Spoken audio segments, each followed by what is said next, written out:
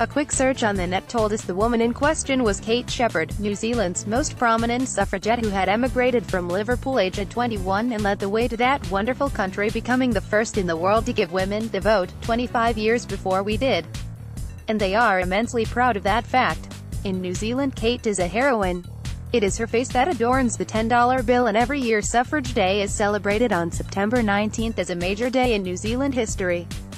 We in this country finally got our act together with the unveiling of a statue of suffragist leader Millicent Fawcett in Parliament Square last week. And not before time.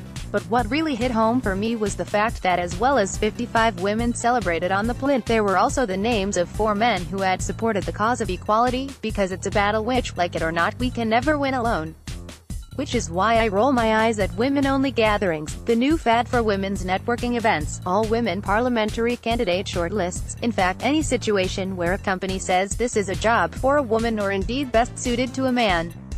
If the powers that be fail to recognize that which is proven, that an equally balanced workforce is a more successful one, then they deserve to fail.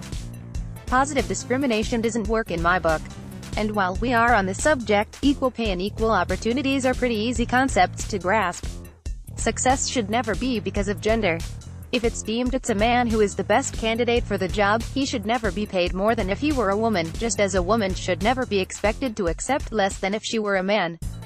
Pity that 80% of companies still don't seem to recognize this even though it's almost 50 years since that northern powerhouse that was Barbara Castle demanded that they do with the Equal Pay Act.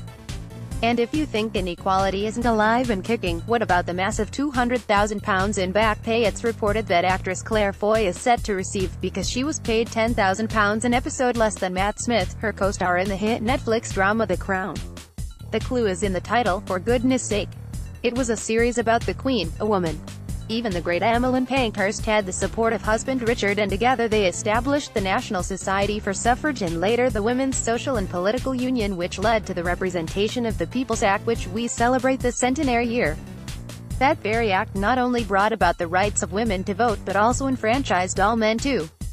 I love the fact that the movement which brought about the most momentous change for women began on the back streets of Manchester that the lesser-known Pankhurst daughter Adela based herself in Sheffield and took the message out the length and breadth of the county, beginning in Whitby.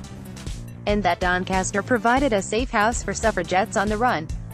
That the first ever demand on Parliament for the vote came in a petition from a group of Yorkshire women is worth celebrating, as is the fact that two of the biggest rallies, of more than 100,000 women, took place on Shipley Glen and on Woodhouse Moor in Leeds. Also, realizing they needed the support of the men in Parliament to achieve their goal, two suffragettes hid under the stage at St George's Hall in Bradford to protest as Winston Churchill took to the stage. He was eventually persuaded after seeing the efforts of women during the First World War, having previously declared that women were well represented in the House by their fathers, brothers and husbands. There is much still to be fought for across the world, but we shouldn't go it alone. Shoulder to shoulder means just that, not one in front of the other. A statue in a sea of men is a start, but the battle is not yet won. Deeds not words may have been the mantra for the suffragettes but it should be a mantra for today. And, as women we can start by voting in tomorrow's local elections after all, our sisters died for that privilege.